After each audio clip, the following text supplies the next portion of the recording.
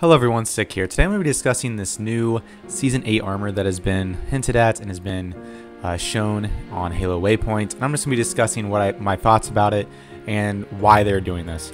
So, now remember how I said that canon fodder deals primarily with Halo's canon. Well, today we're going to creep a bit into other duties as assigned territory. If you've been keeping an eye on elements from Halo Infinite, you may notice a unique armor type that has been said to sit in a distinctly different branch of lore. So, basically what they're doing here, if you've seen the picture, which I'll show you a picture here of the Spartan-like armor in the Halo Infinite trailers, it looks cool, right? Because it's new. It's new to Halo Infinite. It's a whole different game, right? Like Halo Infinite, you can go whatever path you want right now because it's not a developed game entirely yet, and there's still room for changes. What they're doing with this new Season 8 armor, as you can see down here, is they're trying to incorporate some of that into Halo 3. Halo 3 being the most popular Halo on Halo MCC. We'll go ahead and go to the odd ones out paragraph here. Dubbed Mythic, Season 8 of the MCC will showcase Halo in a deliberately divergent way. As a big fan of all manner of media, I've always personally enjoyed when a beloved franchise can be viewed through a unique lens, applying different themes, styles, eras, eras, and more to create unexpected new experiences. Moments that can sit alongside a core universe and can give you a fresh little detour while keeping all of your beloved existing fiction and details nearly intact. Okay, this can't be farther from the truth, okay? Moments that sit alongside a core universe, giving you a fresh little detour. This isn't a little detour when it comes to armor design and how Halo 3 has normally been. This is a big detour. This isn't a little detour. Uh, that was something I wanted to highlight. This isn't a little detour. This is a big detour and uh, while keeping all of your beloved existing fiction and details nearly intact, neatly intact. First off, it's not neatly intact. Um, I would argue this is very much not the fiction we're used to. I think a Mjolnir Madness Season 8 is slated to deliver some unique armor sets. And it's basically each one is focused on reimagining the core Mjolnir armor as alternate universe amalgams based on legendary ancient warriors. So yes, these this armor looks like Spartan armor. It's like the Spartan 300. Granted, I would never would have imagined that a like Spartan 300 kind of vibe would ever come to Halo 3. It just doesn't belong. Yes, we had Hayabusa, but Hayabusa was unique in its own way, and it was one skin, and it was something that you strived for, and everyone like you know kind of worked for. If this was like a one type of skin thing, like Hayabusa was so unique, right? But all these different armor sets and armor helmets that are coming are so out of the blue. Like the horns, like really? Come on. Um, I admit this one looks cool, but imagine this was like a unique armor set that you had to try and unlock through a difficult challenge or something along those lines, and barely any people had it, like Hayabusa back in the day with Halo 3. Then it would be cool.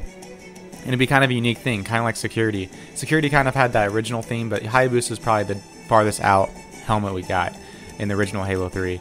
So I think these look great, but it's just not Halo 3. Like, there's not one point not one moment in the Halo lore that we've had so far has the helmets look like this, except for some crazy multiplayer. It'd be different if, like, you know, Jun or George back in the day had a helmet like this, but uh, literally never, no helmet has ever looked like this.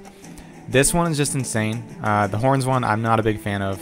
This one, it looks very, I guess, medieval slash Roman Empire time frame. It's just so unique. It looks metallic, looks like the Terminator, you know, run, runs in. It looks kind of strange here. Just not a big fan. The uh, this one even looks stranger. Like, what are these snakes? Oh my gosh! Like, I don't. These just no. I don't. the no. Okay, these can work. These can like somewhat work in the universe. They, I mean, they still don't work in the universe, but these just. What is that? And the side faces like okay so you're gonna shoot the side of their head. It's gonna be a big target for when you're sniping. Some of these just don't make sense. Uh, the that one's trippy. I don't know why there's a diamond in the middle of the face like that. This one could actually work but just looks too too Roman. I'm just not a big fan of these to be honest. This one just doesn't look like you're a Spartan. It looks like it's not even a helmet. It just looks like you are a kind of a yeah a crow a blackguard crow I like the idea. It's just, you know, doesn't seem like it would work as a helmet. Same with this one. Doesn't look like you're wearing a helmet. Looks like it's just your face itself. Uh, even though it is a helmet, it just doesn't look like a helmet at the end of the day. So there's a lot of options here. There's a lot of new armor coming, which is good. The green, like grass on the chest here. Again, never seen that on armor before. This is just totally a different take, and it's not even close to Halo 3, which is the disappointing part of it. So as you can see, a lot of armor. We'll go ahead and count all these. I think it's up to 12, uh, maybe even 15, but there's a lot of pieces. 1, 2, 3, 4, 5, 6, 7, 8, 9, 10, 11, 12, 13, 14, 15, 16, 17, 18. 18 new pieces of armor. And they give you the art history, like why they decided to go with these different uh, pieces. And looking into this, like the side pieces look cool. Like the side pieces look like they could work.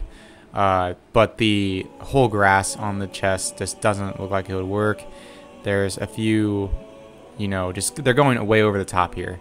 I like the look of this right here. The, probably Spartan B is my favorite. Spartan A has that Hayabusa look, but again, uh, this one looks like it could work though. Like Spartan A looks like it could fit in the universe, just a little bit far fetched.